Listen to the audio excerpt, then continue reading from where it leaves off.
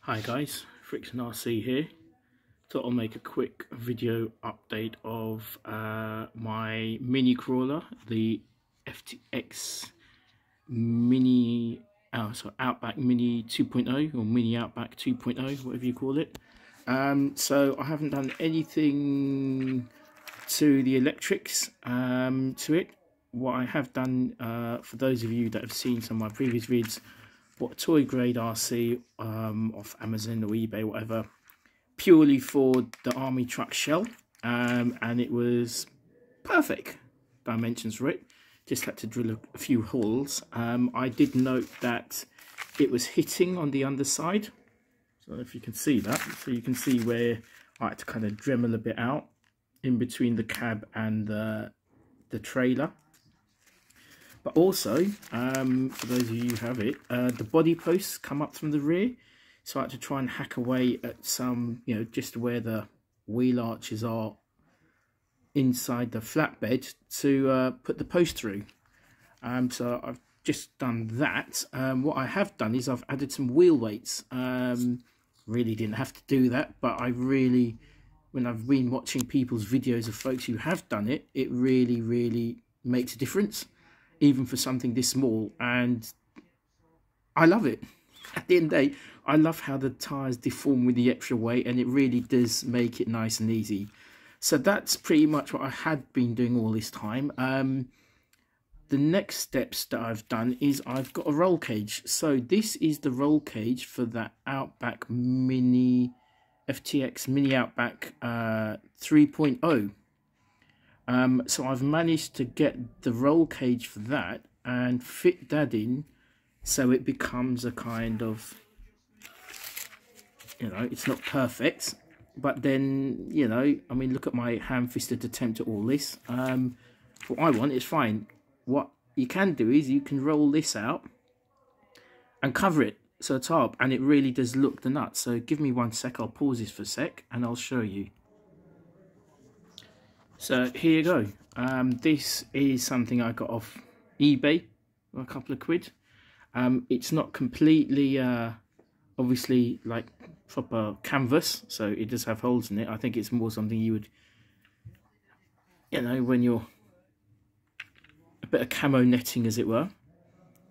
But, you know, it, it does the job.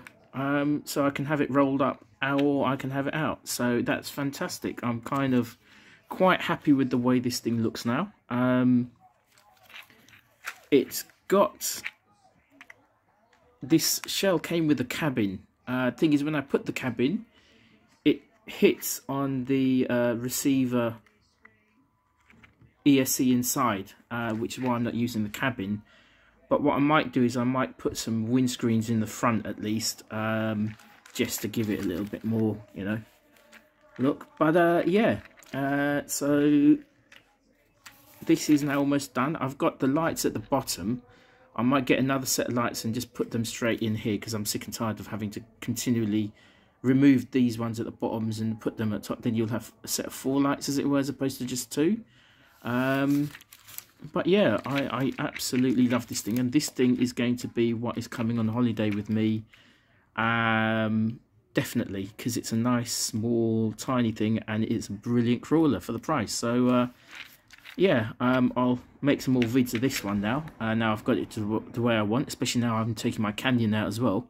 So it'll be good to see how this fares against uh, the Behemoth um, I have a separate video that I would like to make so let me just move this to one side. And that is over my new camera um, for those of you that watched my uh, Traxxas Slash video recently, I tried to be too smart and ended up ruining it by driving it over it at high speed. Um, the weight of the roll cage, I had a v VG Racing roll cage on the slash. That weight plus the slash uh, versus a GoPro, no contest. Um, can't use it, it's ruined. Um, can't when I turn it on, it keeps cycling through the menus. Anyway, my previous video explains what happened to that. So I've got a new one, uh, much, much more cheaper affair, Akaso V50. Uh, from what I've seen videos online, this is perfect for what I want. I mean, yes, I love my GoPro, but I got it about three, four years ago, and I got it. It was still expensive, but I got it in a deal. Um, and now things have changed, and you can buy just about as good as stuff, but for you know much much cheaper or more affordable. Um, and seeing as all I'm doing is using it for RC and using it as a dash cam, um, that this is perfect. So I'll do, I'm not usually one for an unboxing video, but I'll do a quick run through uh, in the next segment about what it comes through. But anyway, um, so yeah, my Mini Outback 2 is, is ready to go. Um, and I have a new camera to film it all in. So, thanks for watching. Uh, let me know your thoughts. And uh, yeah, this is Friktion RC saying ciao for now.